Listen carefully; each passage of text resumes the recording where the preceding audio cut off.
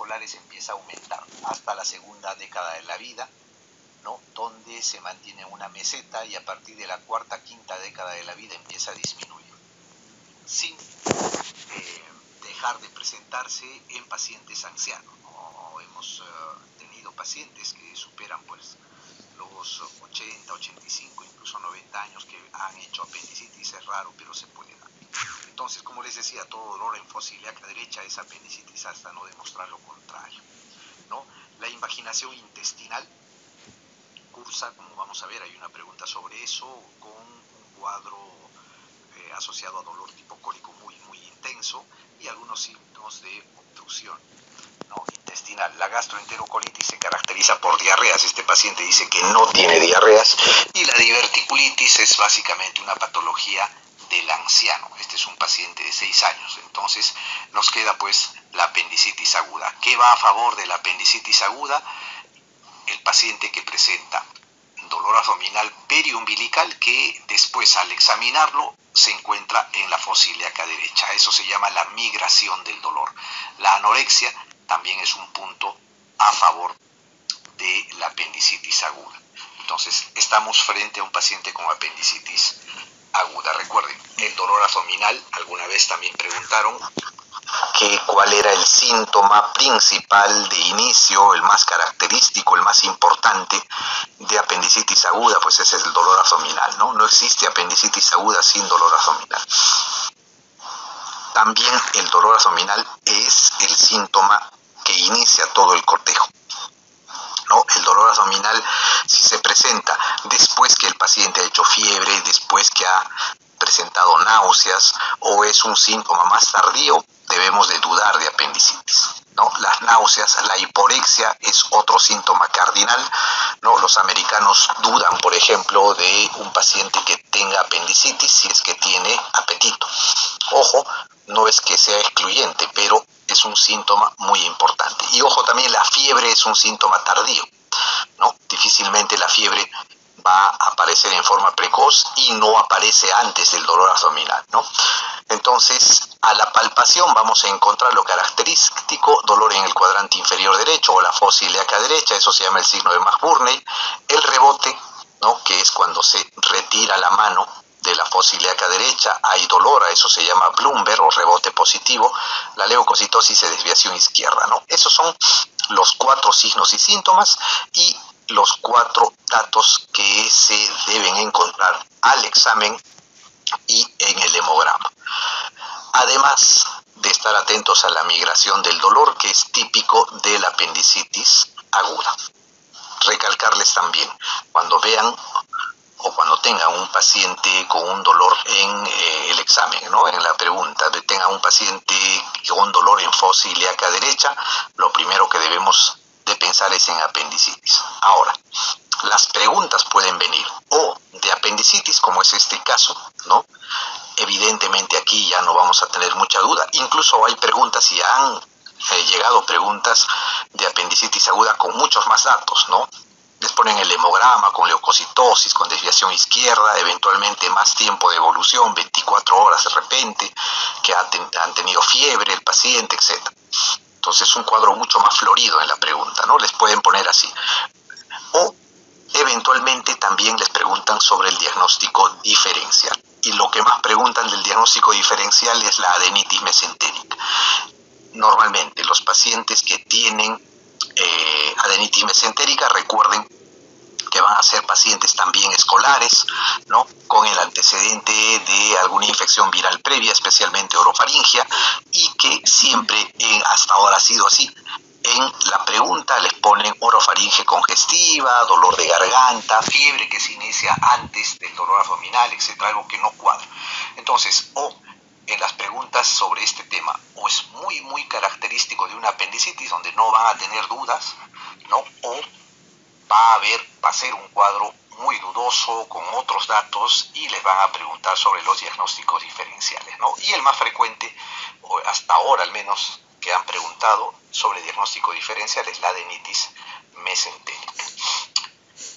Muy bien, la mujer, dice acá la segunda pregunta, mujer de 43 años, hace 7 días dolor abdominal en región umbilical que luego se localiza en la fosa ilíaca derecha. Ingirió antibióticos y analgésicos. Al examen, masa palpable en fosa ilíaca derecha, algo dolorosa. ¿Cuál es el diagnóstico más probable? Diverticulitis de colon derecho, mucosele apendicular, quiste dermoide de anexo derecho o plastrón apendicular. Muy bien, si les preguntan de apendicitis, como les decía, o van a ponerles el cuadro florido o un diagnóstico diferencial. También podrían preguntarles sobre las complicaciones. Una de las más frecuentes en los exámenes que eh, toca, digamos, complicaciones de la apendicitis aguda es el plastrón apendicular o la masa apendicular.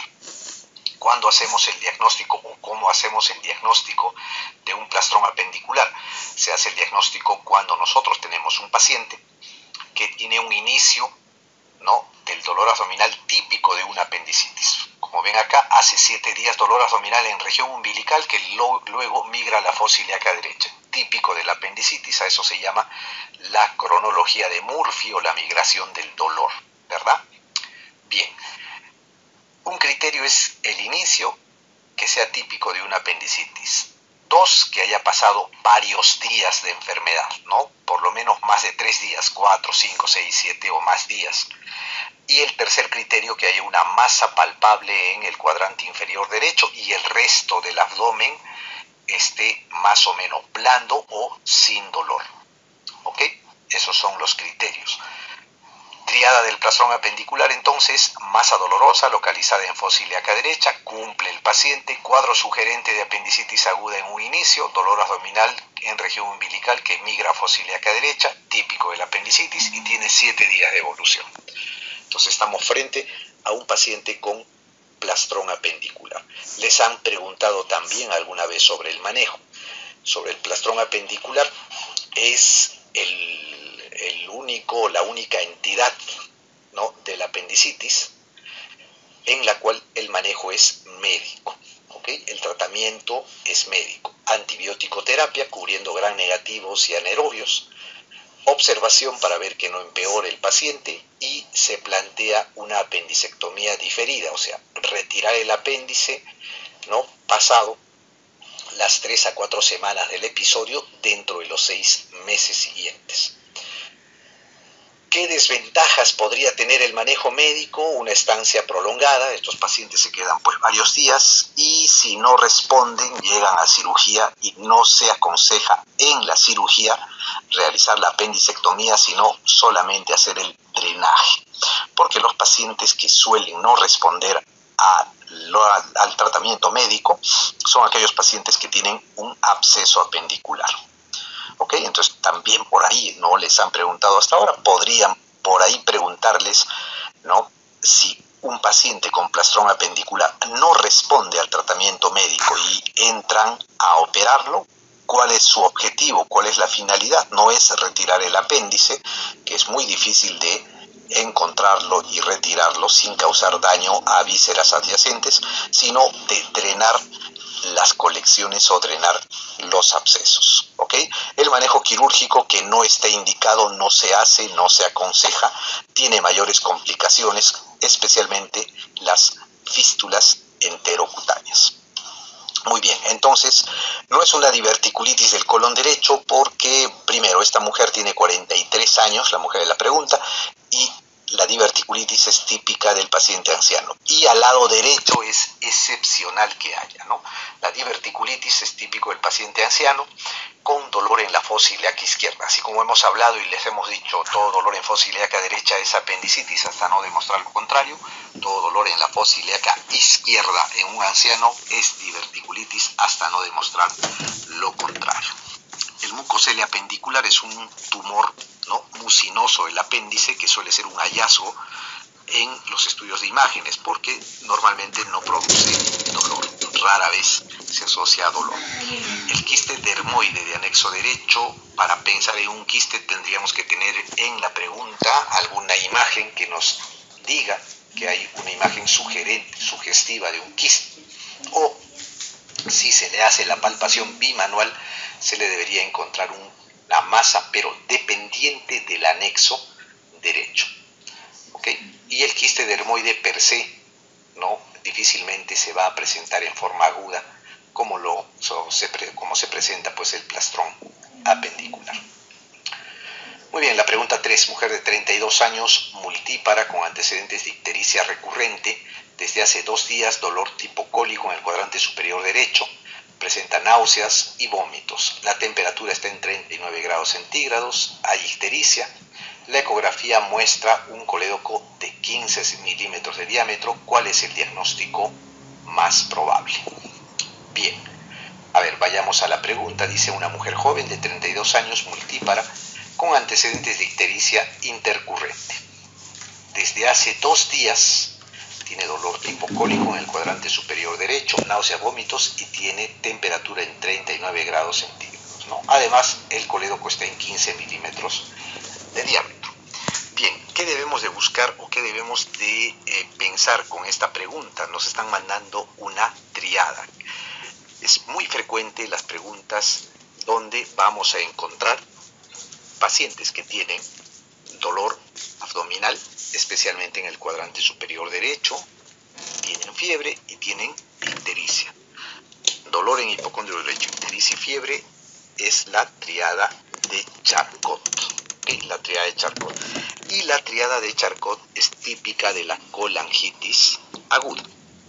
La colangitis aguda es la infección de los conductos biliares debido a una obstrucción y a una infección ascendente. Entonces, esta colangitis aguda se debe a obstrucción, como hemos dicho, ¿no? de base más una infección ascendente. Y la obstrucción suele darse casi, no es en el 100%, pero casi en el 100% de las veces debido a cálculos en el colédoco o cálculos en la vía biliar, en el conducto biliar que obstruyen pues el colédoco. ¿ok? Recuerden que el colédoco, ese es un dato que difícilmente le van a preguntar, pero es para que lo tomen en cuenta, debe medir menos de 7 milímetros, ¿no? 6 o menos milímetros de diámetro. Este eh, paciente tiene un colédoco de 15 milímetros de diámetro, está distendido, está dilatado. ¿Y por qué se dilata? La mayoría de veces por una obstrucción distal debida a litiasis. Entonces es probable que este paciente tenga una colangitis aguda debido a una colédoco-litiasis. ¿Y por qué nos ponen que es paciente mujer y multípara? Porque recuerden que las mujeres, y especialmente las que han tenido hijos, tienen mayor riesgo de hacer cálculos biliares. Por ahí nos ponen ese dato. Muy bien, siguiente pregunta. Dice, varón de 40 años desde hace cuatro días tiene dolor abdominal tipo cólico intermitente en hipocondrio derecho, ictericia progresiva, malestar general y fiebre. Al examen, presión 90 sobre 60, frecuencia cardíaca 120 por minuto, frecuencia respiratoria 20, satura 95%. Laboratorio con leucocitos en 20.000, PCR en 200, lactato en 2, hiperbilirubinemia predominio directo, TGO en 100, fosfatasa alcalina en 250, AGA tiene acidosis metabólica con un PAFI de 250, una creatinina de 2.5. ¿Cuál es el diagnóstico probable? Shock séptico de etiología biliar, SIRS, shock séptico refractario o sepsis de origen abdominal. Muy bien. Esta pregunta también nos dice dolor abdominal tipo cólico en el hipocondrio derecho, o sea, dolor en el hipocondrio derecho, ictericia progresiva y fiebre, o sea, tiene la triada de Charcot, típica de la colangitis aguda. Pero además, miren, está hipotenso, 90 sobre 60 de presión arterial. Además, dice que eh, presenta una acidosis metabólica con un PAFI de 250. ¿okay? Un PAFI de menor de 300 significa que está habiendo una repercusión, un daño, una injuria, si quieren, en el pulmón debido a la infección subyacente que tiene el paciente. Y además tiene compromiso renal, ¿no? Hay una injuria renal aguda porque tiene 2.5 miligramos de creatinina. Entonces, este es un paciente que tiene la triada de Charcot, típica de la colangitis aguda, asociado a disfunción cardiovascular, porque está hipotenso el paciente, a disfunción respiratoria y a disfunción renal. ¿Ok? Muy bien. Entonces, Si está hipotenso un paciente con una infección de base, es un shock séptico. Bueno, ¿y en qué debemos de pensar en este caso? Si nos dan que hay o nos dicen que hay colangitis aguda y se corrobora pues por la hiperbilirrubinemia, aumento de las transaminasas, la histericia, no, estamos frente a un shock séptico de etiología biliar. Tiene este paciente la triada de Charcot típica de la colangitis aguda, pero recuerden que los pacientes que tienen la triada de Charcot, dolor en hipocondrio derecho, ictericia, fiebre, asociado a hipotensión que tiene el paciente y trastorno del sensorio, nos hablan de la pentada de Reynolds. Y la pentada de Reynolds es típica de la colangitis aguda tóxica. ¿Qué diferencia hay entre una y otra? En la colangitis aguda no hay disfunción de órganos, mientras que en la colangitis aguda séptica, tóxica, perdón, o colangitis aguda grave, existe ya disfunción de órganos. Siempre va la hipotensión. Estos pacientes suelen estar en shock y tienen trastorno del sensorio, pueden tener trastorno eh, respiratorio, pueden tener injuria renal, etc. O sea, tienen disfunción de órganos o sistemas. Entonces, estamos en este caso específico frente a una colangitis aguda tóxica, que es mucho más grave que la colangitis aguda como el paciente de la pregunta previa. ¿Cuál es el tratamiento? Eh? Ojo, no importa si es colangitis aguda o colangitis aguda tóxica, el tratamiento es la CEPRE. La CEPRE, que es la colangiografía, ¿no? Eh, o la colangiopancreatografía endoscópica. Se hace la CEPRE para retirar los cálculos, se hace una papilotomía y se le puede dejar un drenaje nasobiliar inclusive. Pero hay que drenar la vía biliar. En la colangitis aguda debe ser precoz y en la colangitis aguda tóxica es urgente, es el drenaje de emergencia, pero el tratamiento es la CEPRE. ¿De qué también es el tratamiento la CEPRE? Ojo, también les pueden preguntar eso de la coledocolitiasis. ¿Ok? ¿Qué diferencia hay entre coledocolitiasis y colangitis? La coledocolitiasis solamente es la presencia de un cálculo en el conducto biliar sin obstrucción y eh, sin infección agregada. En cambio, la colangitis aguda se da la mayoría de veces por obstrucción del conducto biliar por un cálculo asociado a sobreinfección. Entonces, sea coledocolitiasis solamente, o sea colangitis aguda, sea tóxica o la colangitis aguda simple, el tratamiento es la CEPRE. Muy bien, en estos casos estamos frente, en la pregunta, a una colangitis aguda tóxica, una colangitis grave o severa de grado 3, ¿no? o una colangitis con, o que cursa con shock, ¿no es cierto? Con shock séptico de etiología biliar. Muy bien, varón de 60 años acude a emergencia porque hace 20 horas presenta dolor en hipocondrio derecho, vómitos y sensación de alza térmica. Antecedente de litiasis vesicular, al examen está taquicardio, taquicárdico, perdón, abdomen, masa dolorosa, subcostal derecha. ¿Cuál es el diagnóstico más probable? Pancreatitis aguda, colecistitis, úlcera duodenal perforada o plastrón apendicular. Muy bien, como dijimos en la primera pregunta, todo dolor en fosa ilíaca derecha es apendicitis hasta no demostrar lo contrario. El dolor en la fosa ilíaca izquierda en un anciano es diverticulitis hasta no demostrar lo contrario. También todo dolor en el cuadrante superior derecho o el hipocondrio derecho es patología biliar hasta no demostrar lo contrario. En este caso es un paciente de 60 años tiene 20 horas de dolor en hipocondrio derecho, es un dolor persistente, ¿no? El dolor en el hipocondrio derecho, recuerden, puede ser debido a un cólico vesicular o una colecistitis. ¿Qué diferencia hay entre una y otra? El cólico vesicular básicamente es la presencia de dolor en el hipocondrio derecho debido a una contractura espasmódica de la vesícula, mientras que la colecistitis se presenta dolor por inflamación de la vesícula biliar y es más persistente. Si les hablan de más de seis horas, es casi seguro que están frente a una colecistitis. El paciente tiene 20 horas de dolor. Además tiene vómitos, tiene sensación de alza térmica y el antecedente de litiasis vesicular.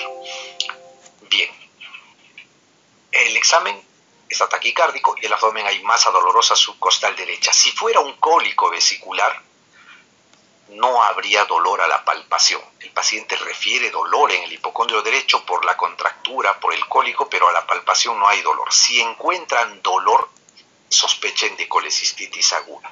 Y especialmente en muchas preguntas no les ponen dolor a la palpación en el hipocondrio derecho, sino les van a poner un signo que es típico de la colecistitis aguda, que es el Murphy, Murphy positivo les van a poner. ¿Cuál es el diagnóstico más probable? Estamos frente a una colecistitis aguda. ¿Por qué? Para sospechar de colecistitis, tener alta sospecha de colecistitis, necesitamos dos pilares fundamentales. La clínica, ¿no? donde tenemos que encontrar dolor constante en el cuadrante superior derecho, especialmente más de 6 horas. Este paciente tiene hace 20 horas dolor constante en el hipocondrio derecho. Masa palpable o signo de Murphy positivo. ¿no? Ese es el pilar clínico. Y tenemos que tener respuesta inflamatoria.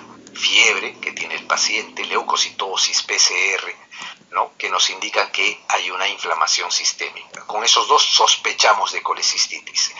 Entonces, ¿cuál es el diagnóstico más probable? Ya tenemos dos de los tres criterios, entonces una colecistitis. Si tuviéramos una imagen que nos dice que la vesícula está distendida, que hay cálculo en su interior, que está enclavado, está impactado en el bacinete, que está obstruyendo la salida de bilis o hay una obstrucción del conducto cístico, diríamos que el diagnóstico es de certeza, porque ya tendríamos los tres criterios. Entonces, estamos frente a una colecistitis aguda. Recuerden, todo dolor persistente y constante en el hipocondrio derecho es una colecistitis aguda hasta no demostrar lo contrario, mientras que el dolor cólico que cede con antiespasmódicos y dura poco menos de las 6 horas, es muy probable que solo sea un cólico vesicular. Siguiente pregunta, varón de 87 años con antecedente de bronquitis crónica e insuficiencia cardíaca descompensada. Se hospitaliza por un cuadro de colecistitis aguda litiásica infectado. Seguramente este paciente tiene dolor en el hipocondrio derecho persistente, tiene un Murphy positivo, ¿no? Y debe tener pues leucocitosis, fiebre, etcétera, ¿no? Y además le hacen una ecografía y le han encontrado cálculos en la vesícula biliar y seguramente un cálculo que obstruye la salida de bilis. No se olviden, han preguntado más de una vez cuál es la causa fundamental del origen de la colecistitis aguda litiásica, es la obstrucción del conducto cístico por un cálculo. Ese dato es importante. Podrían preguntarles.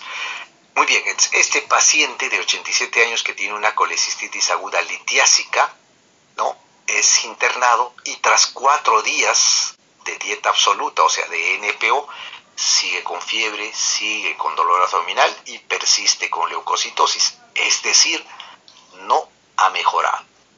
¿Cuál es la indicación recomendada? Colecistostomía percutánea de drenaje, colecistectomía abierta urgente, administrar amicacina y ampicilina, mantener tratamiento médico conservador.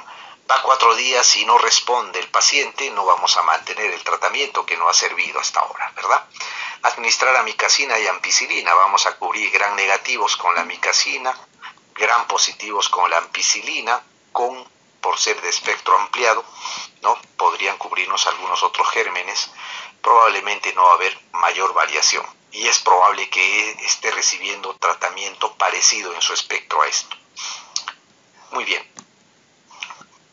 deberíamos hacer colecistectomía abierta urgente o colecistostomía percutánea de drenaje. Recuerden que el tratamiento de elección de la colecistitis aguda es la colecistectomía pero laparoscópica, no abierta.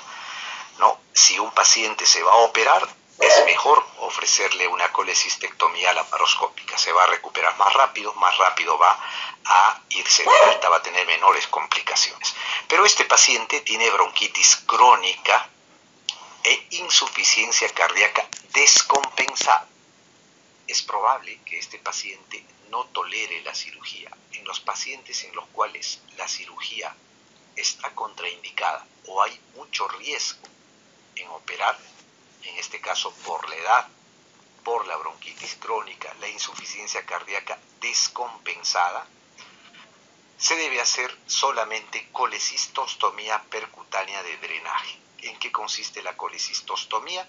Es realizar a través de la piel el drenaje de la vesícula biliar, ¿no? Con lo que el paciente debe mejorar y se espera pues que progresivamente el paciente vaya mejorando para que si se compensa en algún momento pueda ser intervenido. Recuerden la colecistitis aguda, cuando hay inflamación de la vesícula biliar, se puede dividir en tres grados, grado 1, grado 2 y grado 3. El grado 1 es aquel paciente que tiene colecistitis aguda, pero sin disfunción de órganos y sin mucha inflamación local. Van a encontrar un Murphy positivo, probablemente no va a haber reacción peritoneal, masa palpable, una gran leucocitosis. Entonces estos van a colelas precoz. ¿Qué significa colelas precoz?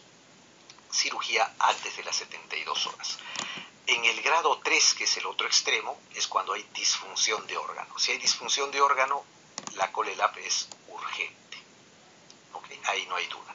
Y en el grado 2, cuando hay gran inflamación local, es decir, puede haber reacción peritoneal, puede haber un plastrón y una masa palpable, dolorosa, ¿no?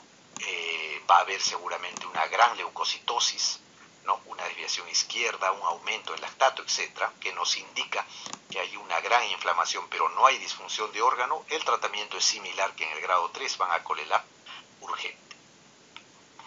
Estos pacientes que tienen gran inflamación gran leucocitosis, fiebre, etc. Y no se pueden operar, como el caso del paciente de 87 años con comorbilidades que hacen o que le dan mucho riesgo a su cirugía, está indicado en los no candidatos a cirugía hacer la colecistostomía. ¿Qué cosa es la colecistostomía? Es el drenaje de la vesícula biliar a través de la piel. Se hace incluso al pie de la cama del paciente. Muy bien, pregunta 7. Mujer de 40 años acude por dolor abdominal, vómitos, distensión, no elimina flatos. Antecedentes, cólicos a repetición. Al examen hay abdomen distendido, doloroso, ruidos hidroaéreos ausentes. En la radiografía se ve niveles hidroaéreos, neumodilia e imagen ovalada, radio opaca en el cuadrante inferior derecho. ¿Cuál es el diagnóstico más probable? Ileobiliar, apendicitis aguda, colecistitis aguda o pancreatitis aguda. Muy bien, este es un paciente o una paciente mujer de 40 años que viene con dolor abdominal, vómitos, distensión, no elimina flatos. ¿Sospechamos de qué? De una obstrucción intestinal.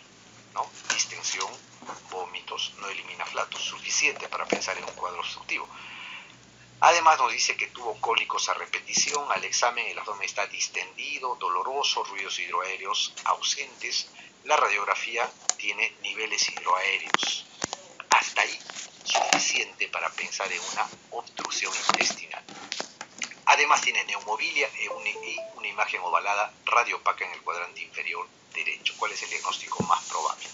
Muy bien, cuando estén frente a un paciente con un cuadro clínico y radiológico de obstrucción intestinal y además exista una palabra neumobilia o aerobilia, que significa aire en la vía biliar, deben de sospechar y deben hacer el diagnóstico de ilio biliar hasta no demostrar lo contrario. ¿Qué cosa es el ilio biliar? Es pues una obstrucción intestinal debido a un cálculo que pasó de la vesícula biliar a través de una fístula normalmente hacia el duodeno desciende este cálculo por el intestino y se enclava cerca a la válvula ileocecal y produce una obstrucción intestinal. Va a tener todo el cortejo de una obstrucción intestinal, vómitos, distensión abdominal, dolor tipo cólico, ¿no?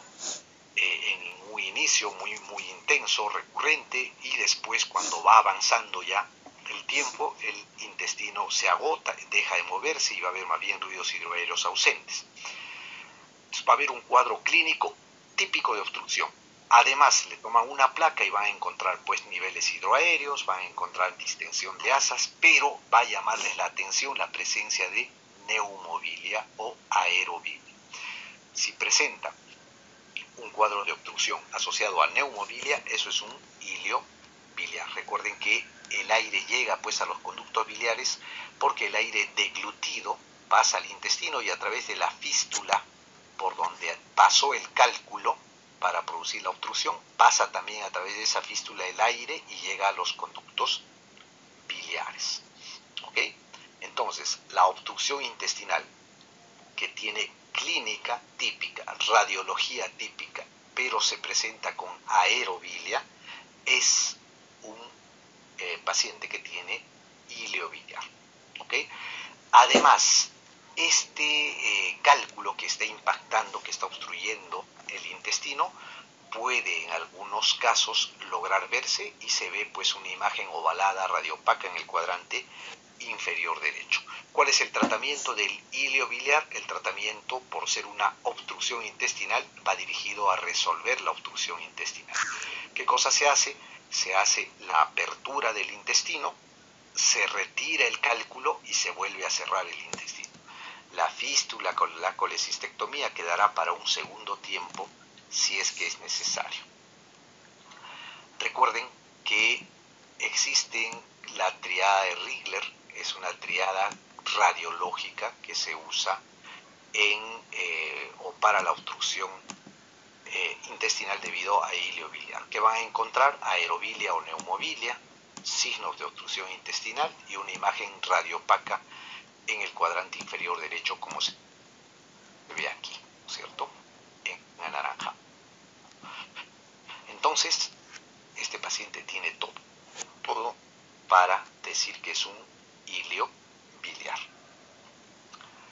Pregunta 8. Varón de 65 años desde hace un mes presenta anorexia y pérdida de peso considerable. Posteriormente se agrega dolor en el abdomen inferior, perdón, el abdomen superior, ictericia marcada y prurito. A la ecografía abdominal muestra dilatación de vías biliares intrahepáticas. ¿Cuál es el diagnóstico más probable? Estenosis benigna de las vías biliares, coledocolitiasis, síndrome de Mirici o carcinoma de vías biliares. Muy bien, todo paciente anciano que presenta un síndrome consuntivo, es decir, presenta pérdida de peso considerable, pérdida de peso constante, pérdida de peso no explicable y em, un síndrome constitucional, astenia, debilidad, etc., lo primero que tenemos que pensar es en cáncer de cualquier tipo. Y si a esto nos dan algunos otros datos, como dolor en el abdomen superior, ictericia marcada, prurito, recuerden que la ictericia, la hiperbilirrubinemia, cuando más asciende, cuanto más se eleva, produce o empieza a producir prurito, ¿no? Sensación de picor en la piel. En este paciente tiene sospecha de cáncer por la pérdida de peso, por la anorexia, porque es anciano, y además tiene ictericia marcada y prurito. Entonces debemos de sospechar que hay una neoplasia de la esfera hepatobiliar. En la ecografía abdominal muestra dilatación de vías biliares intrahepáticas, no nos menciona que haya otro tipo de lesión, no nos hablan de que haya cálculos, por ejemplo. Entonces nos preguntan cuál es el diagnóstico más probable. Un síndrome de Mirici o una coledocolitiasis está asociado a cálculos biliares. Entonces, vamos a descartar las dos alternativas, porque la ecografía no nos habla de cálculo, solamente dilatación de vías biliares. Una estenosis benigna de las vías biliares suele darse principalmente en pacientes que han sido operados. La estenosis de las vías biliares la mayoría de las veces se produce por eh, o tras una cirugía de la vesícula biliar. ¿no? Se produce a veces eh, debido a ligaduras, eh, o debido a eh, uso del cauterio muy cercano al colédoco, lo que provoca pues su cicatrización y la estenosis correspondiente. ¿Ok? Entonces, este paciente no tiene el antecedente de haber sido operado para que tenga una estenosis, no nos menciona al menos eso, pensaremos más que estamos frente a un carcinoma de vías biliares, ¿no? Probablemente un tumor del colédoco o de la unión de los conductos hepáticos, que es la zona donde es más frecuente el carcinoma de vías biliares. Recuerden cuando el eh, tumor se presenta en la unión de los dos conductos hepáticos, se denomina el tumor de Klaskin. ¿Alguna vez han preguntado qué cosa es el tumor de Klaskin?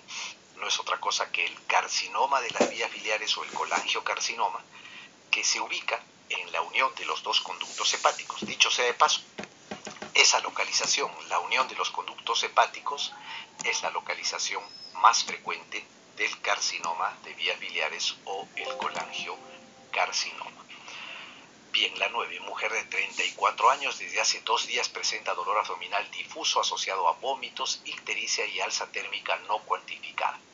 Al examen está deshidratada, tiene abdomen ligeramente distendido con ausencia de ruidos hidroaéreos, laboratorio amilasa de 2400, bilirubina total en 4, bilirubina directa en 3.5, proteína C reactiva 5.6, ¿cuál es la conducta para definir la etiología? resonancia, monitoreo de la amilasa, tomografía de abdomen o radiografía de abdomen simple. Muy bien, frente a qué estamos? Paciente joven, dolor abdominal, según los exámenes tiene una amilasa de 2400, pues, ¿no es cierto? Con este nivel de amilasa estamos frente a un paciente con una pancreatitis aguda. Nos preguntan cuál es la conducta para definir la etiología. Primero, ¿qué cosa debemos de saber? Que la causa principal en nuestro medio, la primera causa, la más frecuente de pancreatitis es la litiasis biliar, la litiasis en el conducto colédoco.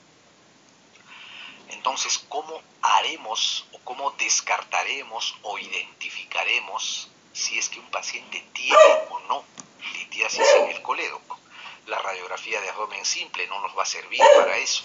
La tomografía de abdomen es el mejor examen para ver la gravedad de la pancreatitis, para evaluar tomográficamente el páncreas, pero para vías biliares es poco útil. Monitorizar la amilasa no nos va a dar pues la etiología, ¿no? La colangioresonancia, en cambio, es la resonancia de las vías biliares. Es el mejor examen para el estudio de las vías biliares intra y extrahepáticas. Entonces, la colangioresonancia nos va a decir con mucha exactitud si el paciente tiene o no tiene coledocolitiasis. Entonces, la respuesta ahí será la A. La conducta para definir la etiología es la colangioresonancia. Muy bien, la pregunta 10, mujer de 55 años con diagnóstico de pancreatitis aguda grave, en la cual se sospecha de necrosis y se considera que la intervención está indicada. ¿Entre qué semanas se debe realizar el drenaje percutáneo? 7 a 8, 6 a 7, 1 a 2 semanas o 3 a 4 semanas. Bien, esta es una mujer de 55 años, tiene el diagnóstico de pancreatitis aguda grave o severa y se sospecha pues de necrosis. Se considera que la intervención esté indicada. Si sospechamos de necrosis, ojo, no es suficiente para indicar la intervención quirúrgica o hacer el drenaje percutáneo. ¿No? Cuando sabemos que un paciente tiene necrosis y tenemos alta sospecha o confirmación de que esa necrosis está infectada, ahí es donde está indicada la intervención quirúrgica o si hay una colección, ¿no? Una colección líquida cerca a la necrosis, adyacente a la necrosis o al páncreas, está indicado el drenaje percutáneo, pero este no se hace pues de inmediato ni en cualquier momento. ¿Cuándo es el mejor momento para realizar el drenaje percutáneo? Cuando las colecciones derivadas de necrosis, de licuefacción, ¿no? de tejidos adyacentes o del tejido pancreático, más o menos se encapsulan y se produce una reacción de los órganos adyacentes produciendo una pseudocápsula a lo que se denomina pseudoquiste. Y eso no pasa antes de las 3 a 4 semanas. Entonces, el drenaje percutáneo no se puede realizar precozmente, ¿no? Hay que esperar por lo menos entre 3 a 4 semanas para considerar la intervención, o sea, el drenaje percutáneo. Podrían preguntarles también cuándo se opera una pancreatitis aguda. No, la pancreatitis aguda, la principal indicación es la necrosis infectada. El porcentaje de necrosis o la gravedad de la necrosis no es indicativo de cirugía. Puede haber un paciente con 95% de necrosis, no estoy exagerando obviamente, que no va a requerir cirugía necesariamente. Y puede haber un paciente con 10% de necrosis, pero que tiene una necrosis infectada y hace pues un absceso pancreático. Y este paciente sí debe ser operado. ¿Ok? Entonces no depende del porcentaje de necrosis ni de la gravedad de la pancreatitis para plantear la cirugía, sino depende si la necrosis está o no está infectada.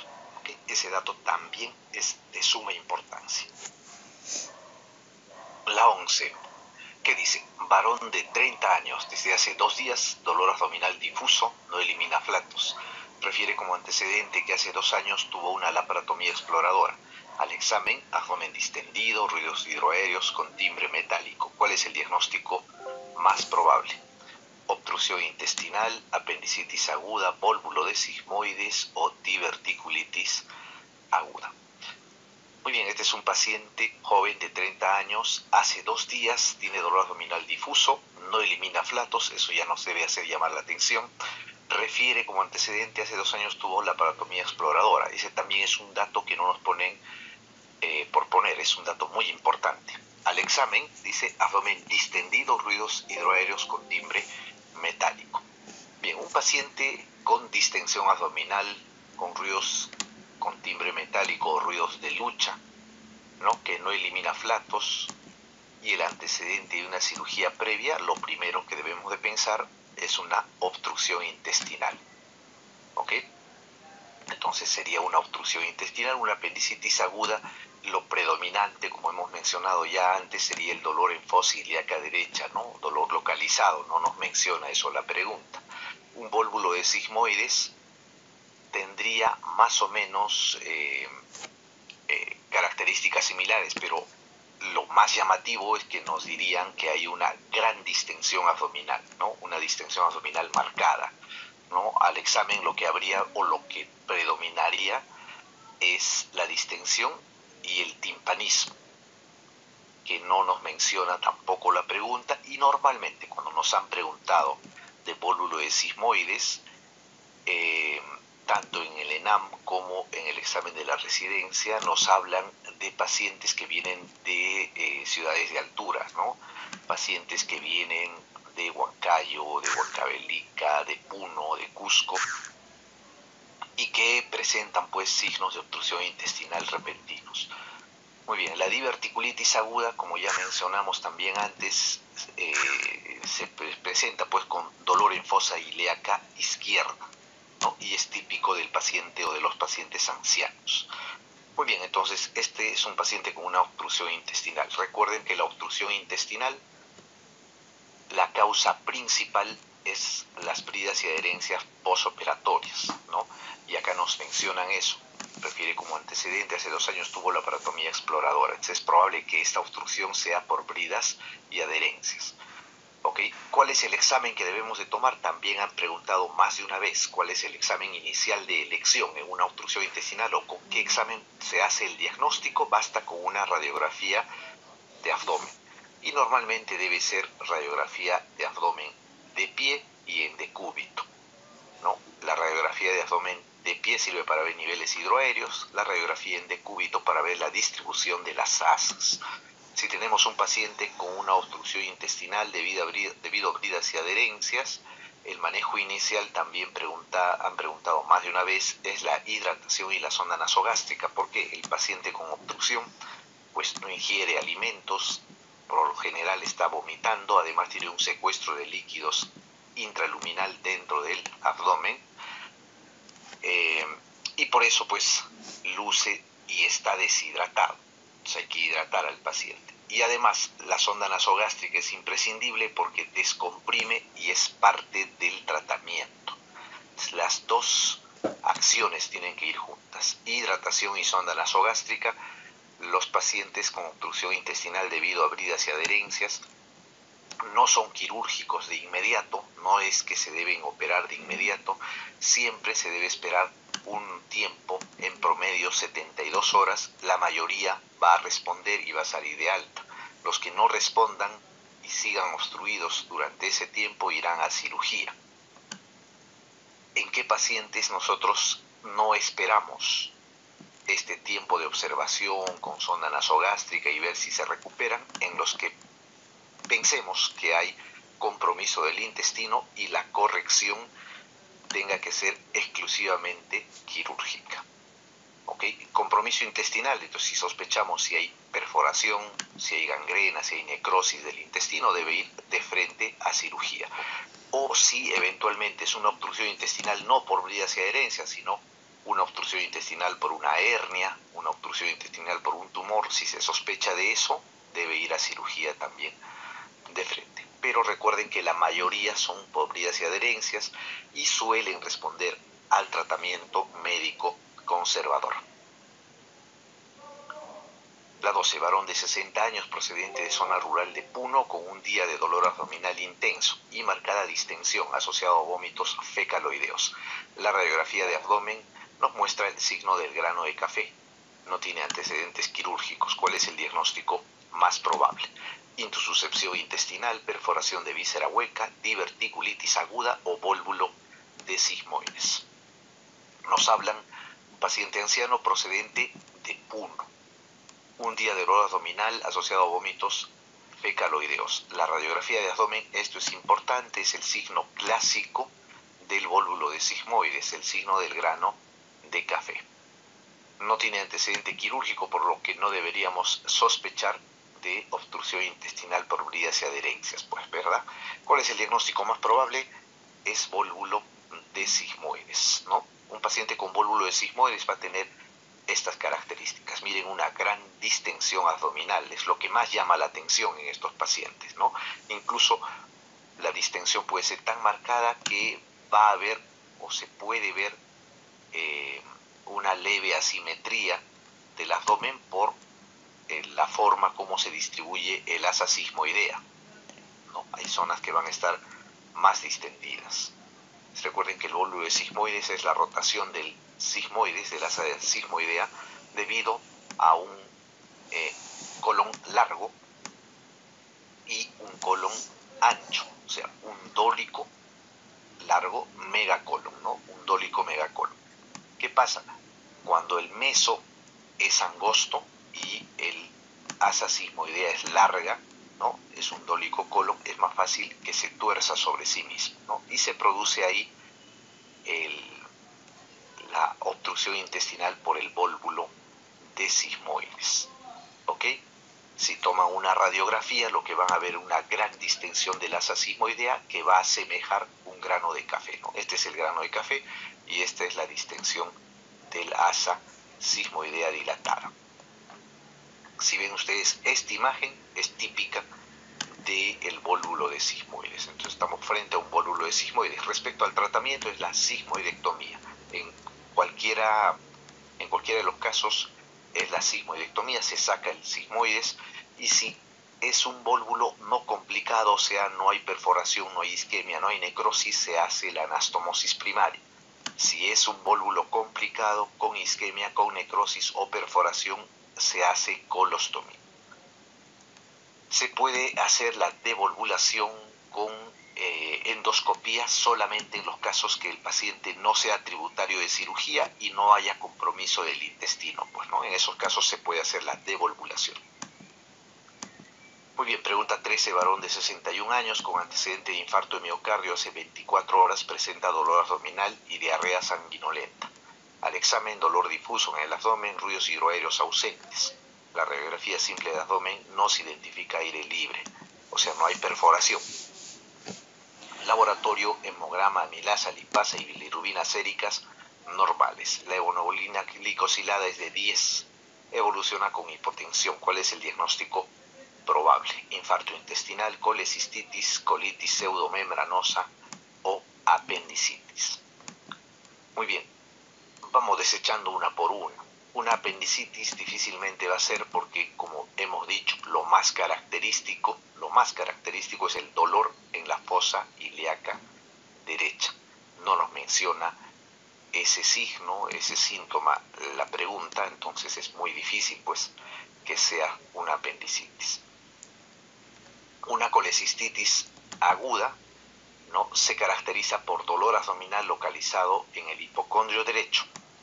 Además pues de dolor a la palpación en, en el hipocondrio derecho, signo de Murphy, masa palpable, etcétera, que no nos menciona la pregunta. Entonces, colecistitis tampoco. La colitis pseudomembranosa se asocia a patologías crónicas, ¿no?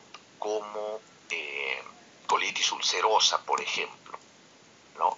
La colitis ulcerosa, la enfermedad de Crohn, o eventualmente la ingesta de eh, antibióticos, ¿no? Clásicamente se habla de la clindamicina, que puede asociarse a diarreas sanguinolentas, tipo membranas, y por eso puede producir, eh, producirse este, esta complicación no nos menciona ninguno de esos dos de esas dos características. Más bien nos dicen que tiene el antecedente de infarto de miocardio este paciente.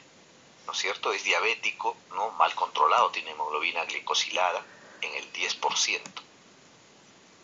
Entonces, una colitis pseudomembranosa como que no sería la primera opción, aunque no se puede descartar por la diarrea sanguinolenta que presenta, etcétera, ¿no? Pero lo que habría ahí sería una distensión abdominal intensa. En la radiografía se debería ver una dilatación de colon marcada, ¿no? Marcada dilatación del colon. Y el antecedente cerraría pues el diagnóstico, ¿no? Enfermedad crónica en el colon o ingesta de antibióticos. Muy bien, entonces nos queda infarto intestinal. El infarto intestinal se produce por el cese de la circulación arterial, prioritariamente, arterial puede ser venosa también, pero arterial hacia el intestino delgado, o sea, la interrupción de la irrigación por las arterias mesentéricas, especialmente la mesentérica superior. ¿Y en quiénes se producen? Se producen principalmente en pacientes ancianos, cardiópatas mal controlados estos pacientes ancianos cardiópatas mal controlados debutan con dolor abdominal intenso, con hipotensión. Esa es la característica de un infarto intestinal. Entonces, si ustedes ven un paciente anciano con patología cardíaca, especialmente fibrilación auricular, no, dice la pregunta eso, pero ese es el antecedente más característico mal controlados que debutan con dolor abdominal intenso, distensión e hipotensión, casi siempre van a dar con el diagnóstico de infarto intestinal. ¿Ok? De infarto intestinal, entonces la respuesta acá es la A. La enfermedad vascular del intestino, recuerden que son de dos, tres tipos, ¿no? Trombosis venosa mesentérica, isquemia mesentérica aguda e isquemia mesentérica no oclusiva. De estas tres, la más frecuente es la isquemia mesentérica aguda y es la que han preguntado hasta ahora, todas las veces que ha venido en el examen. La causa más frecuente de la embolia, perdón, de la isquemia mesentérica aguda es la embolia arterial asociado a cardiopatía, ¿no?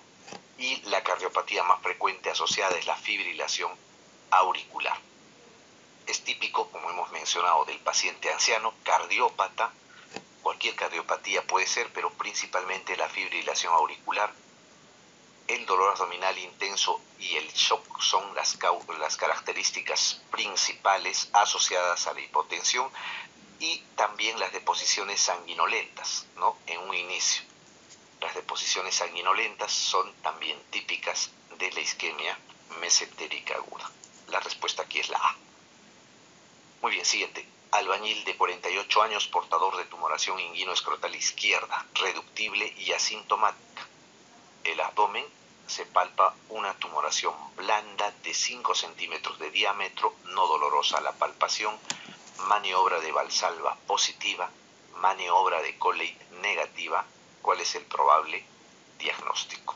Hernia crural, eventración abdominal, hernia inguinal directa o hernia inguinal indirecta.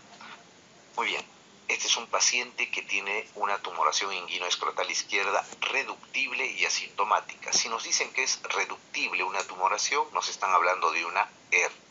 No importa dónde se encuentre. Si está en el ombligo, en la región inguinal, en la línea semilunar, etc. Si es una tumoración reductible, es una hernia. Ok. Si es o se encuentra en la línea de sutura o en la cicatriz antigua de una cirugía sería una eventración, que se comporta igual que una hernia, pero se caracteriza por presentarse en una cicatriz quirúrgica previa. El abdomen hay tumoración blanda de 5 centímetros de diámetro, no dolorosa a la palpación.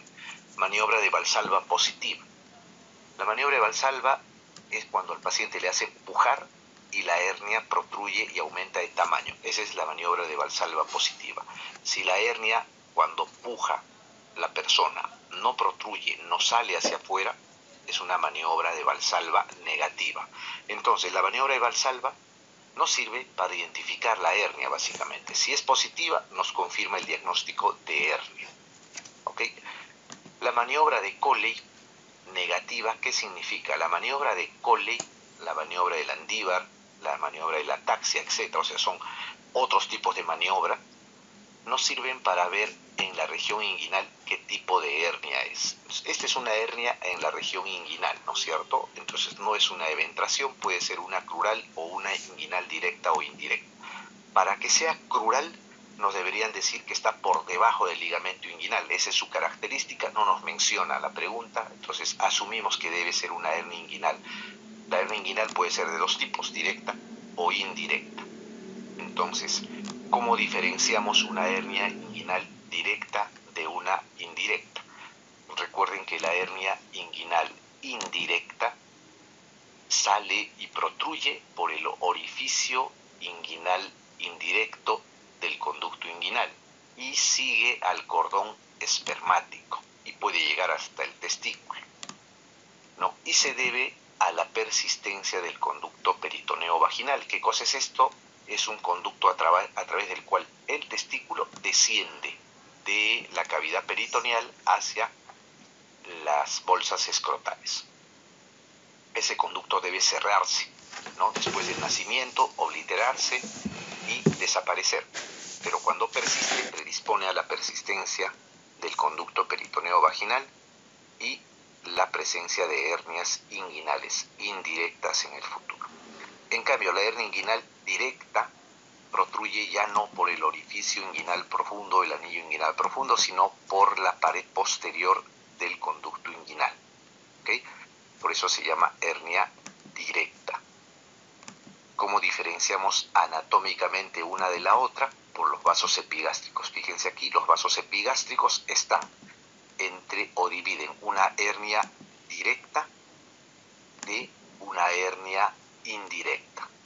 Toda hernia que esté por fuera de los vasos epigástricos es indirecta y toda hernia que esté por dentro de los vasos epigástricos es una hernia directa. Muy bien.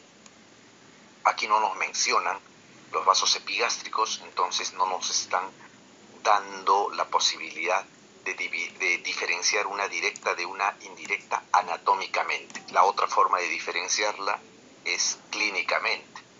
Entonces, habíamos dicho, la maniobra de Valsalva positiva nos indica y nos confirma la presencia de una hernia. Acá nos está confirmando que hay una hernia. El resto de maniobras, como la maniobra del Andívar, la, maniobra de Coley, que son las más eh, comunes, pueden ser positivas o negativas. ¿En qué consiste? La maniobra del Andívar de Cole consiste ¿no? en con el dedo presionar ¿no? cerrar, obliterar el anillo inguinal profundo. Entonces, si el dedo está presionando el anillo inguinal profundo y le decimos al paciente que puje, si protruye y aparece la hernia, va a ser una hernia directa. Porque una hernia indirecta a través del anillo que está cerrando el dedo, que está presionando el dedo del examinador, no va a protruir, entonces va a ser negativa en este caso la maniobra de la El paciente tiene maniobra positiva de Valsalva. Es una hernia, entonces confirmamos. Para saber si es directa o indirecta, hacemos las otras maniobras. Por ejemplo, acá nos mencionan la maniobra de Cole. Si hacemos la maniobra de Cole y le decimos al paciente que puje y no protruye nada, quiere decir que es una hernia indirecta, porque en la maniobra de Cole lo que se hace es se oblitera, se cierra el orificio inguinal profundo y por eso debe ser negativa esta maniobra, porque al pujar no va a protruir nada. En cambio, si dejamos de cerrar el anillo inguinal profundo y le hacemos pujar al paciente, ahí sí va a salir la hernia. ¿Ok? Entonces, la maniobra de Valsalva, vuelvo a repetir, nos confirma la presencia de la hernia. Queremos saber si es directa o indirecta, entonces cerraremos el anillo inguinal profundo con el dedo y haremos pujar al paciente.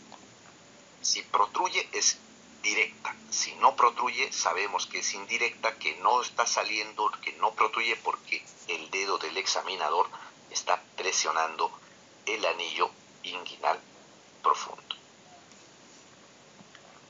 Muy bien, pregunta 15. Mujer de 66 años desde hace dos horas presenta dolor inguinal derecho después de levantar peso, además de náuseas y vómitos. Al examen hay distensión abdominal, ríos hidroaéreos con signos de lucha, se palpa tumoración dolorosa de 2 por 2 centímetros por debajo del pliegue inguinal. ¿Cuál es la hernia más probable? Inguinal directa, crural, obturatriz o inguinal indirecta. Muy bien, ya nos dicen que es una hernia nos preguntan cuál es la hernia más probable. La paciente tiene hace dos horas dolor inguinal derecho después de levantar peso, ¿no? Y se palpa una tumoración dolorosa de 2 por 2 centímetros por debajo del pliegue inguinal. Toda hernia que está por debajo del pliegue inguinal es una hernia crural, mientras las hernias inguinales están por encima del pliegue o del ligamento inguinal. El ligamento inguinal entonces divide las hernias femorales o crurales por debajo de las hernias inguinales, sea directa o indirecta, por la parte superior. ¿Ok? Entonces, esto es una hernia inguinal, eh, perdón, una hernia que está en la región inguinal, pero por estar debajo del ligamento inguinal es una hernia crural. ¿no? Eso nos dice la pregunta. Tumoración dolorosa por debajo del pliegue. Las hernias, en general, por su condición de reductibilidad, pueden ser reductibles o irreductibles. Si no se pueden reducir, son irreductibles y estas a su vez pueden ser encarceradas o estranguladas. La encarcerada es aquella que no se reduce y la estrangulada es la que además de no reducirse tiene compromiso intestinal. Hay isquemia y necrosis de las asas intestinales que están dentro de la hernia y cómo clínicamente diferenciamos. No solamente no se puede reducir, sino se va a acompañar de cambios en la coloración de la piel. Si nos dijeran que esta masa dolorosa por debajo del pliegue inguinal es no reductible, es una hernia crural encarcerada. Y si nos dijeran que tiene cambios en la coloración de la piel, hay equimosis, hay eritema en la zona, estamos hablando de una hernia estrangulada casi con seguridad. Muy bien, entonces aquí sería una hernia crural porque está por debajo del ligamento inguinal. Siguiente, mujer obesa de 40 años acude desde hace 12 horas, porque desde hace 12 horas presenta dolor abdominal difuso, vómitos y no elimina flatos. Antecedente, hace 10 años fue operada de apendicitis aguda con peritonitis generalizada. Al examen, el abdomen se encuentra en la cicatriz mediana, una tumoración no reductible dolorosa. ¿Cuál es el diagnóstico? Celulitis de la pared abdominal, eventración estrangulada, absceso de pared abdominal o hernia incisional encarcerada. Muy bien, paciente 40 años, obesa, ese es un antecedente importante. La obesidad es un factor de riesgo o el factor de riesgo más importante para las eventraciones, acude porque desde hace 12 horas presenta dolor abdominal difuso, vómitos y no elimina flatos. O sea, aparentemente hay una obstrucción intestinal. Hace 10 años fue operada de apendicitis aguda con peritonitis generalizada. Si solo nos dijeran esto, sería pues una probable obstrucción intestinal, ¿no es cierto? Por vías y adherencias tendríamos que sospechar. Pero al examen nos dice abdomen, en la cicatriz mediana se palpa masa no reductible y dolorosa. Una masa en una cicatriz previa es para sospechar de una eventración. Si no se reduce, es una eventración incarcerada. Si hubiera cambios en la coloración de la piel, sería una eventración estrangulada. Recuerden que las eventraciones se les llama también hernias incisionales y por eso sería esta una hernia incisional incarcerada.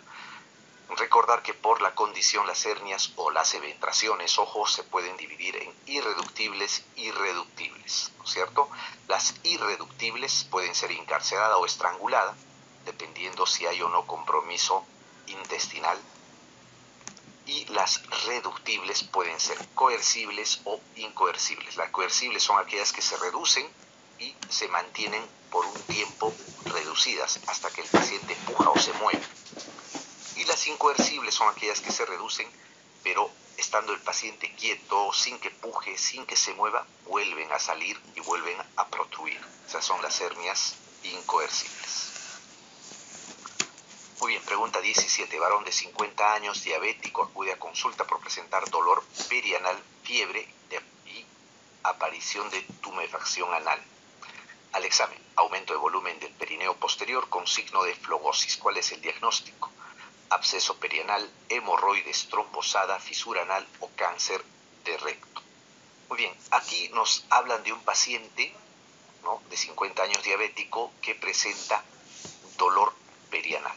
¿okay? Si nos hablan de dolor perianal o dolor anal, tenemos que sospechar de, primero, fisura anal crónica o aguda, segundo, de hemorroides trombosada y tercero, de absceso perianal, ¿no? Las tres alternativas están en la pregunta.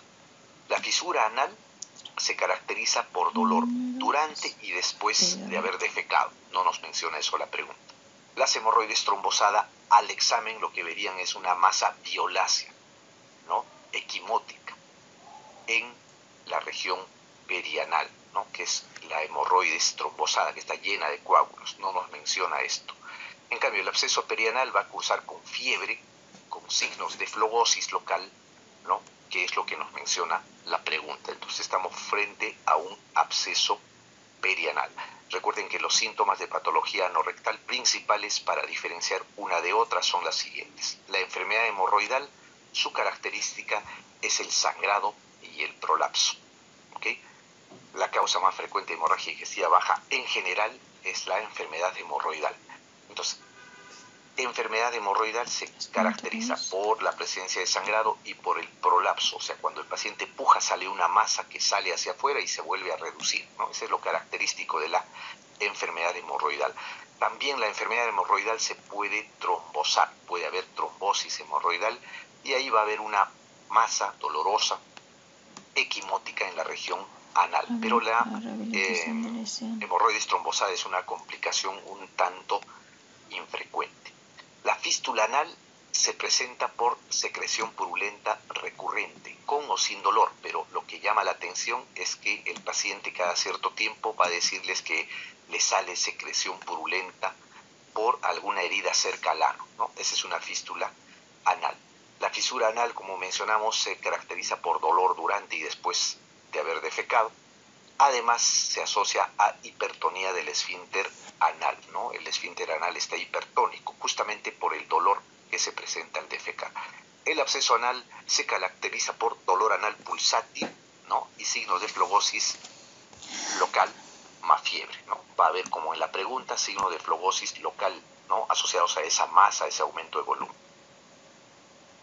Muy bien, varón de 54 años, dice hace 7 días dolor perianal, con herida que drena pus que mejora con analgésicos y antibióticos. Hace cuatro meses le drenaron un absceso perianal.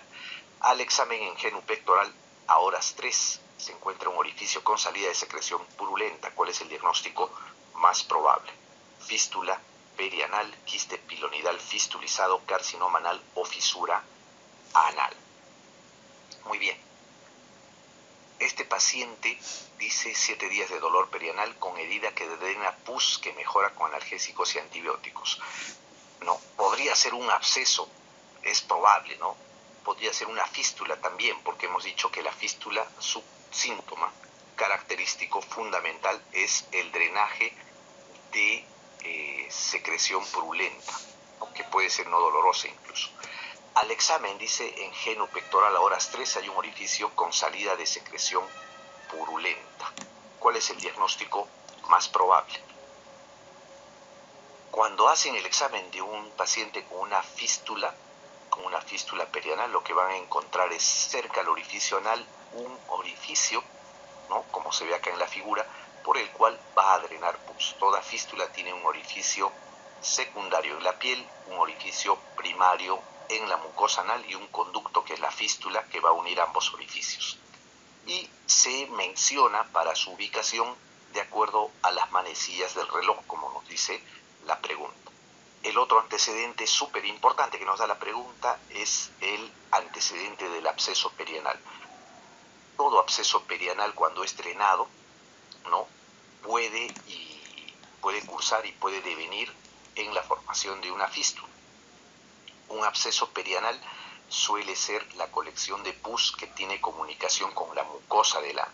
Cuando se drena este absceso, sea quirúrgicamente o de manera espontánea, sale la pus que está coleccionada en el absceso y persiste la comunicación del absceso o lo que era el absceso con la mucosa del ano y se abre una comunicación en la piel esa comunicación madura y se produce la fístula, un orificio primario, un orificio secundario y el conducto fibrótico que los une. Entonces recuerden que el absceso y la fístula algunos lo consideran como una misma enfermedad. El absceso es la fase aguda y la fístula es la fase crónica. Entonces el antecedente de haber tenido un absceso más la herida cerca al ano por la cual drena secreción purulenta, nos hace el diagnóstico de fístula periana. Muy bien, siguiente, varón de 42 años, hace 5 días tiene dolor intenso al defecar que persiste varias horas después. Presenta manchas rojo rutilantes al higienizarse. Al tacto rectal, el esfínter está hipertónico, no presenta masas. ¿Cuál es el diagnóstico más probable? hemorroides trombosada, prolapso rectal, fisura anal o absceso perianal. Muy bien. Este paciente tiene dolor intenso al defecar que persiste varias horas después. Con eso es suficiente para pensar en una fisura anal. Además nos mencionan que el esfínter está hipertónico. ¿Ok? Entonces calza pues con lo que mencionamos antes. La fisura anal su característica es el dolor durante y después de haber defecado, más asociado a hipertonía del esfínter anal. Todo tiene el paciente, ¿no es cierto? ¿Cuál es el diagnóstico más favorable? Es una fisura anal. Recuerden, la fisura anal puede ser aguda o puede ser crónica. La aguda es aquella que tiene síntomas menor a 4 a 6 semanas. Y ahí el manejo es conservador. Calmar el dolor, evitar el estreñimiento y esperar que la fisura, que es una herida, que es un desgarro en la piel de la región mucocutánea, cicatriz. Ahora, si los síntomas persisten por más de 4 a 6 semanas, se considera una fisura anal crónica. La fisura anal crónica tiene como tratamiento la esfínterotomía lateral interna. ¿Ok?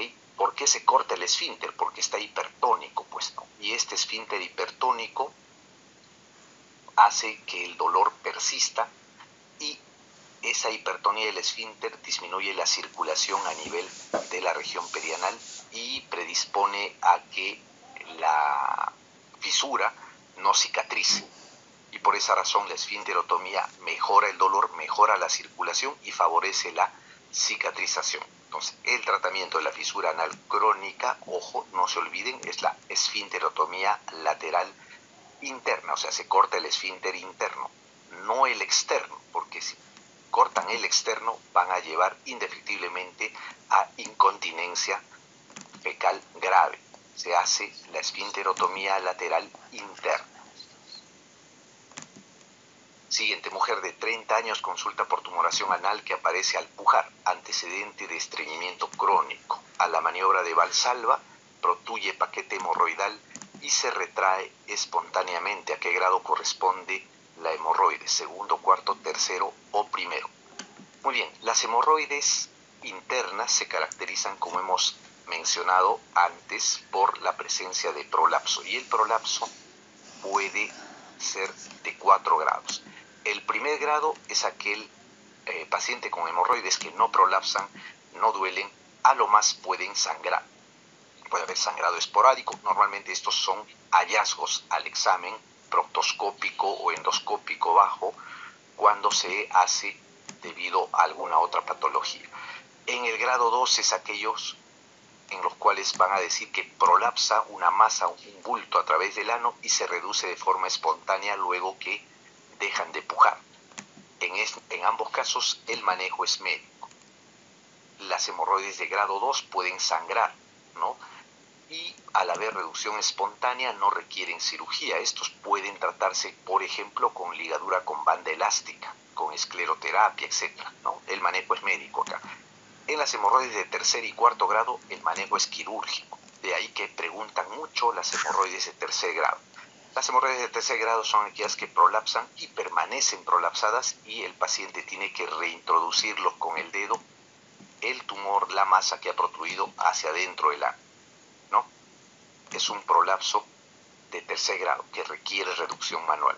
El prolapso de cuarto grado es aquella que está todo el tiempo prolapsado y no se puede reducir. Ambas de tercer y de cuarto grado requieren manejo quirúrgico porque no responden ya al tratamiento médico.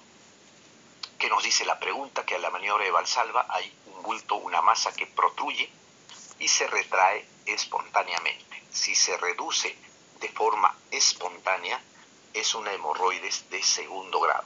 Si no se redujera espontáneamente y el paciente lo reintroduce, es una de tercer grado y si es que no se puede reducir de ninguna forma, sería de cuarto grado. Muy bien, siguiente, varón de 61 años con diagnóstico de úlcera gástrica perforada hace 12 horas. Al examen hay dolor, contractura y resistencia abdominal. La radiografía muestra neumoperitoneo. Hay leucocitosis en 13.000. ¿Cuál es la operación indicada en esta emergencia? resección, cierre simple, piroloplastía o gastrectomía subtotal. Muy bien, cuando, cuando hay una perforación ulcerosa, sea gástrica o sea duodenal, el tratamiento siempre es resolver la emergencia, o sea, hacer la sutura de la perforación. No se aconseja hacer resecciones, no se aconseja hacer gastrectomías ni vagotomías que son parte o es el tratamiento de la úlcera péptica, ¿no? Eh, actualmente, ¿no? Actualmente el tratamiento de la úlcera péptica es eminentemente médico. Casi el 100% de los pacientes van a responder de manera adecuada al tratamiento médico. Antes, eh, hace muchas décadas, pues, cuando no se tenía pues el, arsenal de los inhibidores de la bomba de protones, cuando no se tenía los protectores de la mucosa gástrica, cuando no se hablaba todavía del Cobacter pylori, el tratamiento era casi siempre quirúrgico de la úlcera péptica. Actualmente no, más bien es médico, se tratan solamente las complicaciones y algunos pacientes en raras ocasiones que no responden al tratamiento médico, que son muy rebeldes al tratamiento conservador, van a cirugía, pero es rarísimo. ¿Ok? Entonces, las complicaciones son perforación y sangrado, son las causas más frecuentes para entrar a cirugía, especialmente la perforación. Y cuando uno entra a resolver una perforación, sea duodenal o sea gástrica, por úlcera péptica, el tratamiento es la sutura de la perforación. Se puede hacer biopsias dependiendo si está en el estómago o en el duodeno. En el estómago se prefiere hacer biopsias, en el duodeno es mucho más difícil, pero lo importante es hacer la sutura, ¿no? sea gástrica o sea duodenal, la rafía simple o la sutura es lo que se hace. En el duodeno hay veces no es posible suturar porque es muy grande la úlcera, Y lo que se puede hacer es colocar un parche de Graham también, la segunda opción. El parche de Graham consiste en llevar el epiplon hacia el orificio ulceroso y sellarlo ahí. A eso se llama el parche de Graham. Muy bien, pregunta 22. Parón de 20 años sufrió atropellos trasladado de emergencia. Al examen, presión 100 sobre 70, frecuencia cardíaca en 100, respiratoria en 34, temperatura en 36,5, herida sangrante en cuero cabelludo, deformación del muslo derecho, Glasgow 10. En el ECOFAS no hay líquido libre. ¿Cuál es la primera medida a tomar? Despejar la vía aérea y proteger el cuello, colocar férula en miembro inferior derecho, proveer aporte de líquidos, detener la hemorragia y proveer aporte de líquidos, evaluar compromiso de la conciencia y colocar férula en miembro inferior derecho. Este es un paciente politraumatizado, pues, ¿no es cierto? Ha sufrido un accidente de tránsito. Por ende, entra dentro del manejo del politraumatizado y de la revisión primaria. Todo paciente politraumatizado que ingresa a emergencia debe pasar por la revisión primaria donde se hace el A, E del tratamiento y del manejo de estos pacientes. Donde A significa vía aérea, es decir, tenemos que permeabilizar la vía aérea con control cervical. En estos casos veremos que no haya coágulos, que no haya cuerpos extraños en la orofaringe, en la faringe alta, que impidan que respire el paciente. Y si el paciente se encuentra con trastorno del sensorio, como es el caso de la pregunta, probablemente habría que intubarlo y asegurar la vía aérea para evitar broncoaspiraciones y evitar que el paciente entre en paro respiratorio.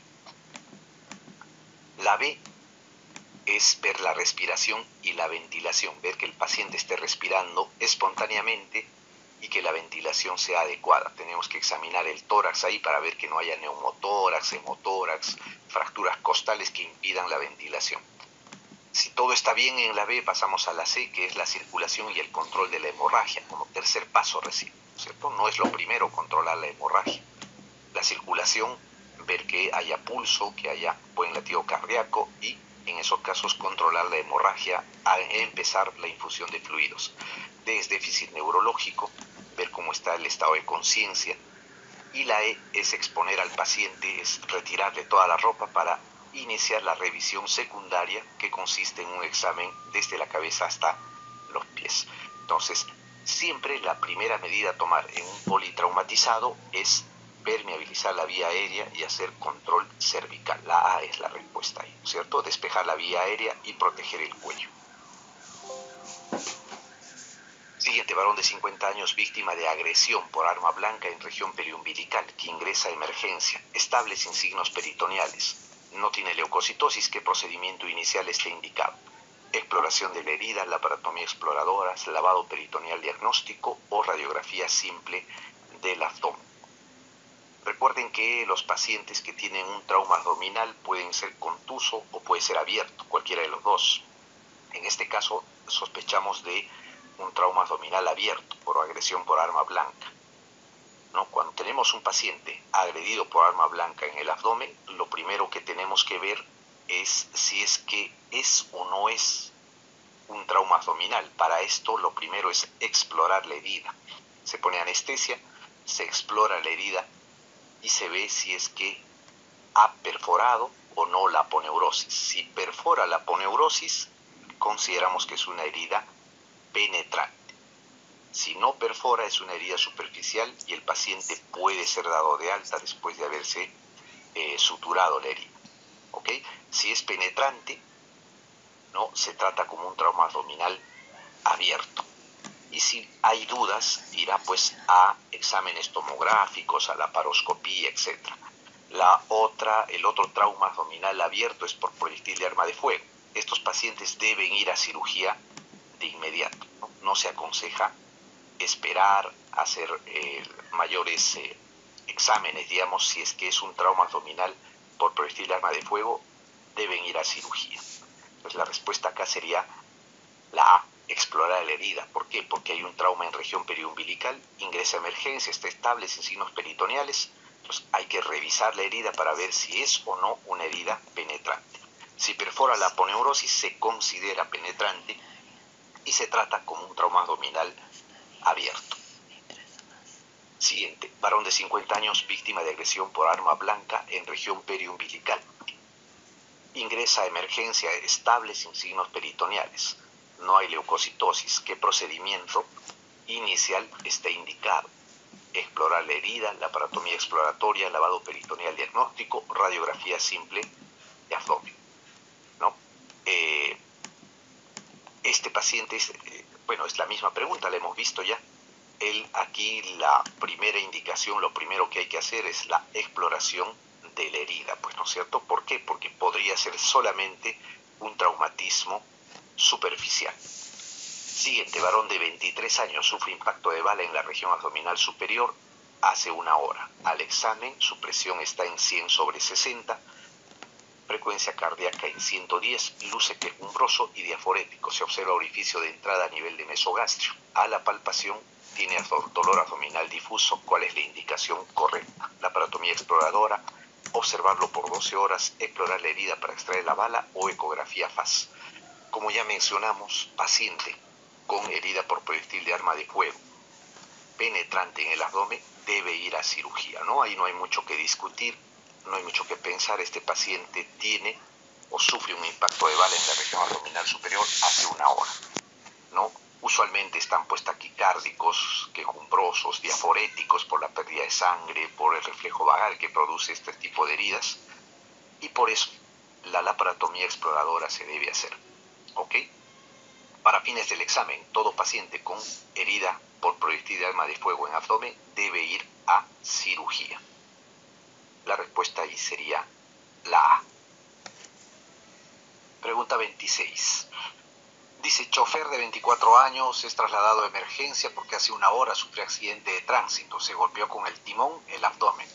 Al examen, presión 110-70, frecuencia cardíaca 84, respiratoria 20. El abdomen está doloroso en epigastrio. La tomografía muestra hematoma en pared duodenal. ¿Cuál es la indicación inicial? ¿Qué es lo que deberíamos hacer con este paciente? drenaje percutáneo, laparoscopía diagnóstica, observación continua o laparatomía exploratoria. Muy bien, estamos frente en este caso a un trauma abdominal contuso, ¿no es cierto? Un trauma abdominal contuso o cerrado, si quieren, donde a diferencia del trauma abdominal abierto, había que explorar la herida cuando era arma blanca, cuando era por proyectil de arma de fuego, era indicación de cirugía eh, de frente, ¿no? sin eh, hacer ah, mayores pasos. Pero respecto al trauma abdominal cerrado o contuso, lo que nos va a definir qué hacer con el paciente es ver si está estable o inestable. Depende de eso qué cosa vamos a hacer con el paciente. En los pacientes que están estables, lo ideal es ponerlos en observación y tomarles una tomografía. Es el examen de elección, es el mejor examen para que nos indique qué daño, qué lesiones tiene en el interior del abdomen. Si el paciente está inestable, la tomografía ya no es posible porque hay que trasladarlo, hay que tomarse un tiempo en hacerle la tomografía, entonces lo que se hace es la ecografía. El ECOFAS. El ECOFAS es un examen ecográfico que se realiza tomando en cuenta los eh, cuatro puntos o cuatro ventanas en el abdomen, el epigastrio, los hipocondrios derecho e izquierdo y la región hipogástrica, ¿no? buscando qué cosa, básicamente líquido libre para ver si hay hemoperitoneo. Si el ECOFAS no funciona, no lo tenemos a la mano, no se puede hacer, la segunda alternativa es el lavado peritoneal diagnóstico. Al igual que en el paciente estable, si no contamos con tomografía, podemos tomarle una ecografía. Muy bien, si el paciente está inestable, entonces el ecofaz o el lavado peritoneal diagnóstico va a decirnos si hay o no hemoperitoneo. Si es positivo, hay hemoperitoneo, el paciente está inestable, debe ir a cirugía. Si es que es negativo, probablemente no haya un hemoperitoneo, debemos buscar otras causas de shock, de hipotensión, de inestabilidad, como por ejemplo un hematoma retroperitoneal, una fractura de pelvis con secuestro sanguíneo, etc. Muy bien. ¿Y cuando un abdomen o un trauma abdominal contuso, un traumatismo abdominal cerrado va de frente a cirugía? Si es que hay irritación peritoneal. Significa pues que hay seguramente una lesión de víscera hueca que está produciendo cuadro de peritonitis. En el caso de la pregunta, es un paciente de 24 años, su presión está en 110-70, frecuencia 84, respiratoria 20, ¿no? Y se encuentra pues estable, ¿no? El hematoma de pared duodenal se ve en la tomografía. Mientras no haya indicación quirúrgica, no haya perforación, no haya lesión de víscera hueca, el paciente esté estable, incluso con una lesión de víscera sólida, hígado o eh, vaso. Si el paciente está estable, el tratamiento es conservador, ¿ok? O sea, la observación continua y esperar que el paciente mejore. 27. Mujer de 52 años desde hace 6 meses dice que tiene dolor abdominal y alteración del ritmo defecatorio. Antecedentes, la madre tiene poliposis adenomatosa familiar Tevenón y parásitos en heces negativos. Reacción inflamatoria leucocitos 1.10 por campo. ¿Qué examen es el indicado? Colonoscopía, endoscopía alta, cápsula endoscópica o tomografía abdominal. Muy bien, esta es una paciente de 52 años, dice hace 6 meses dolor abdominal y alteración del ritmo defecatorio. Pero hay un antecedente de suma importancia. El antecedente es que la madre tiene poliposis adenomatosa familiar los pacientes que tienen poliposis adenomatosa familiar tienen alto